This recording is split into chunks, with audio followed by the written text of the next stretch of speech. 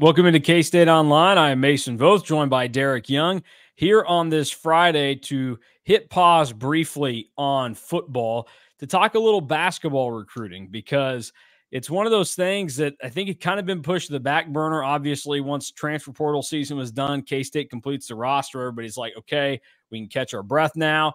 And you start to think, mm, K State, the strategy looks like high school recruiting probably isn't going to be that important moving forward. K State really didn't put a major emphasis on it uh, in the last class. They had two guys they really wanted. They got one of them in David Castillo, and the other, Pat Ngongba, chose Duke over K State. And that was basically it for the 2024 recruiting class. But recently, we've seen an uptick in how K State is handling this 2025 recruiting class. There's buzz with a lot of top players uh, in the country, and we'll get to that in a minute. But before we do that, uh, let's again remind people that the Cats are getting ready to go to Ireland. A little over a year away from K State and Ireland. They are going to go over playing the Aer Lingus College Football Classic. And what better way to start the 2025 college football season than cheering on K State in the Aer Lingus College Football Classic in Dublin, Ireland? The Cats will square off with the Iowa State Cyclones on August 23rd of 2025. And whether it's a quick trip to Dublin for the game, a multi city adventure through the Irish countryside, or exploring the Emerald Isle on your own, there's a package for you. Visit cats2ireland.com for more information on official travel and hospitality packages. That's cats, the number two, Ireland.com. So cats2ireland.com, and they'll have, I mean, I, I've looked, they've got numerous different packages depending on what you're interested in, how long you want to be over there how you want to experience Ireland. Probably uh, good options for people that are either going to be first timers over there like me or the experienced Irish traveler. Uh, so definitely go check out cats2ireland.com if you're planning on going overseas next year to watch the Cats and the Clones play in the Aer Lingus College Football Classic. College game day is going to be there this year, so it'll be interesting if yeah. it is next year. As uh, what is it, Florida State versus Georgia Tech this season? Yeah, Florida State, Georgia Tech. So uh, you know, classic ACC rivalry, definitely on the level of Farmageddon. Uh, we'll uh, we'll be interested to see how that goes. And Ryan Lackey was telling us yesterday he's going to go over there and get a little bit of a, a, preview of what that ends up looking like. So that is football. We, we will talk about that uh, in the very very near future and discuss it a little bit more. But let's get back into the basketball situation because K State has had some of these notable prospects announce K State is in the final mix, uh, if you will. So, most notably, AJ Dybantsa, he put K State in his top seven recently. Darryn Peterson has K State in his top eight that he's put out. Malik Thomas had K State in his top seven. Those are all top 10 guys. And then Nigel Walls is number 50 in the class. He has K State as one of his five schools that he said he's trying to line up official visits to. Uh, and there are certainly some others that K State might be exploring and kind of putting into into play right here. Um, and you see kind of the notes down there uh, on what might be significant about this. K State only had one 2024 commit uh, in the class. And then this year, still zero, but it's early for basketball recruiting with 2025. Those normally don't really start taking shape until you get into mm, probably September, October uh, getting closer to their signing day and everything that, that goes with it. So, what do you make of this, DY? Is is K State a real threat to land this high school talent, or are they shifting their focus back to being involved in the high school recruiting game? And I guess the other thing I should add in there for context for people is that the scholarship limit is going to go to 15 for basketball teams, which means, you know, right now it's at 13, you get a couple extra. So you don't have to be as smart about how you allocate scholarships even if we think they're, you know, the sport itself is heading in a direction where you don't need to use even all 13, but you can be even more free with it if you're going to be allotted 15. Yeah. I don't really I'm not putting a ton of stock into the the the limit excuse me, the limit increase right now just because I think like half of college basketball doesn't use the 13 at this point. Um we've seen Kansas State a few times not use the full 13. So I don't think that's going to really impact the sport a whole lot. Um, maybe I would say just say maybe it, you know, inspires, you know, coaching staffs like K State to maybe take a flyer on an extra project like Moby, right? Think of Moby Kagaruka that they added this year. Maybe you can take another version of him or two and, and basically roll the dice that it turns into a home run. And if not, you know, you'll process him out pretty quickly anyway, so the spot doesn't hurt. So I could see maybe that being the route with the extra spots. In terms of the high school pursuit, I don't think it's going to look a whole lot different than it did last year or like even the year before.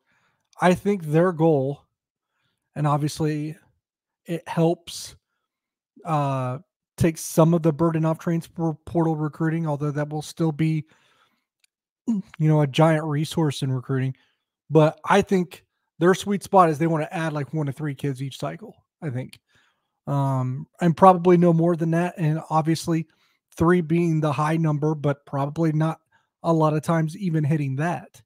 Um, you you shared it. You know, last year was just David Castillo, even though they also chased Patrick Ngongba. This year, I think they have like five or six guys they really really like right now, and I think they want to land anywhere from one to three of them. You had a few guys up there, obviously. Uh, Nigel Walls, he's already taken an unofficial visit to K State. He's a four star. Then the three five stars, Malik Thomas, he went to uh, K State's NCAA tournament game at Madison Square Garden. Um, the Wildcats just need to get him on campus.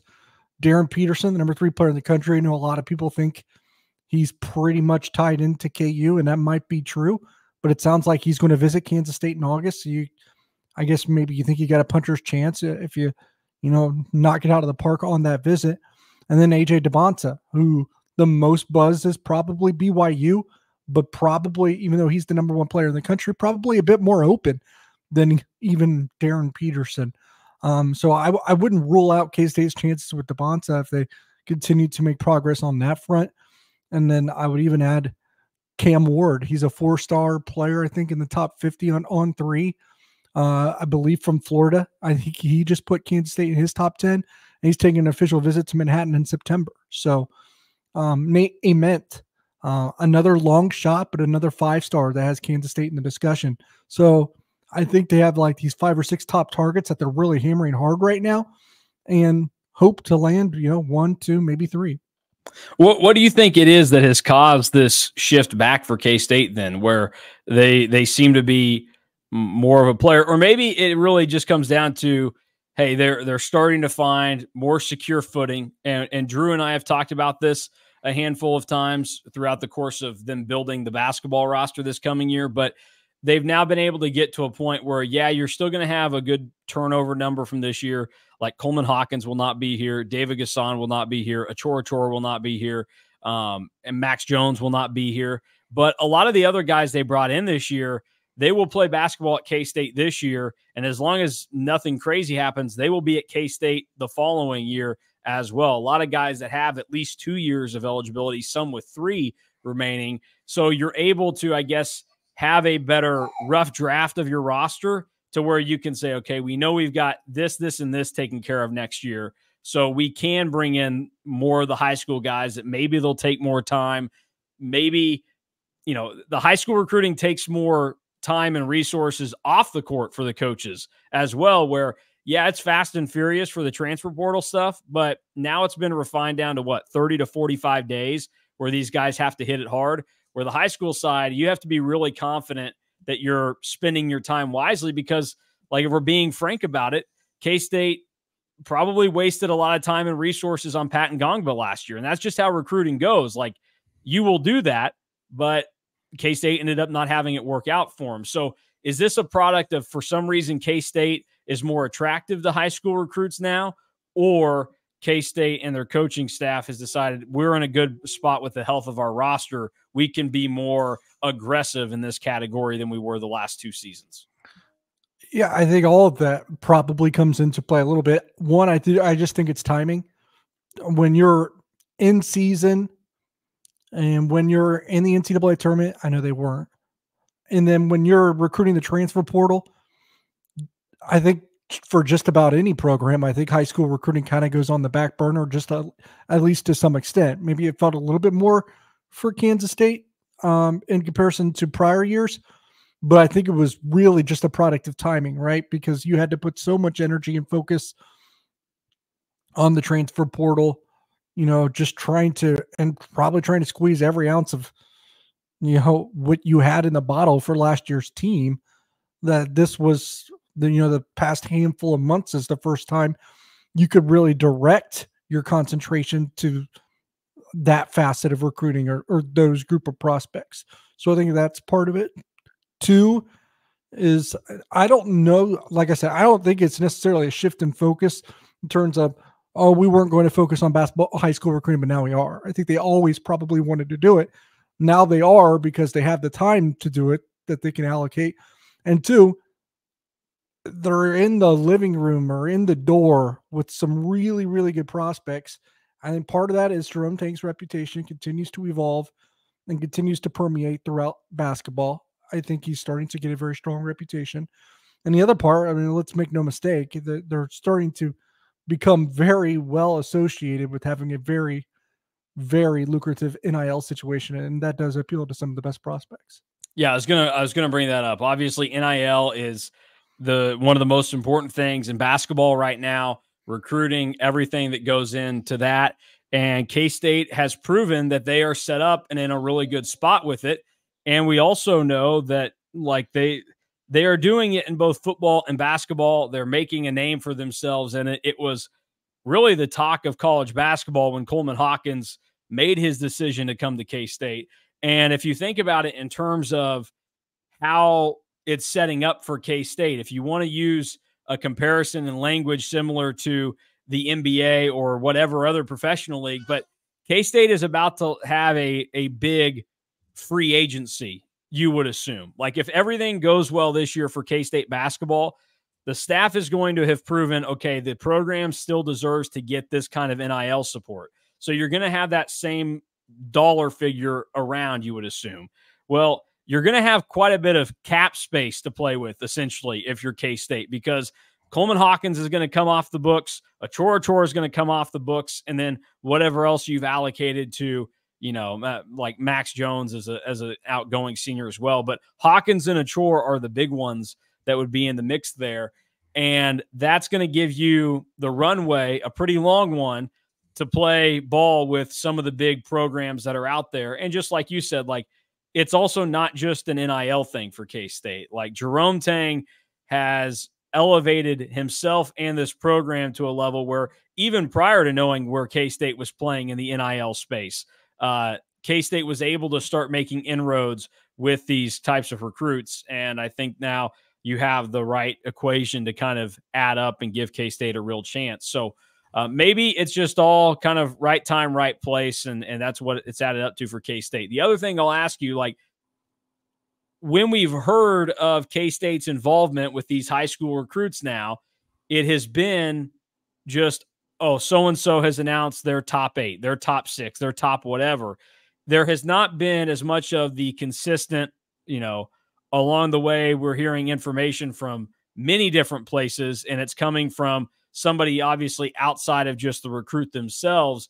Do you think that K State is moving towards a realm where they think it's better for them as a staff to be more tight lipped about the operation that's going on inside the ice center? And then that way, you know, it's it's not being heard by people or other members of the industry that are going to share it with others. Like they do they see more of a benefit to kind of keeping things under the under wraps and striking in darkness essentially?